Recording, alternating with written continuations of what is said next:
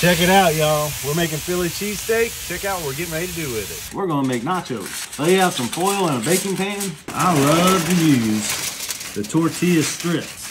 Spread our meat out, black beans, some black olives, some of our fresh pickled jalapenos that we just made, and some fine diced onions, some Monterey Jack and cheddar cheese. And the oven we go. About 10 minutes later, you're gonna need a scooper. Cut them into sections, scoop them up, put them on your plate. But we're not done yet. Let's make something extra special go on top. Kosher salt, a little bit of Dan-O's, squeeze of the fire roasted lime, Get a couple scoops of our fire roasted salsa. And there you have some guacamole that's got some real texture and you got all that flavor in there. Guacamole right on top. And you can eat it with a fork or your fingers. And yum yum get you some. That's the bomb. I hope you enjoyed this video and yum yum get you some.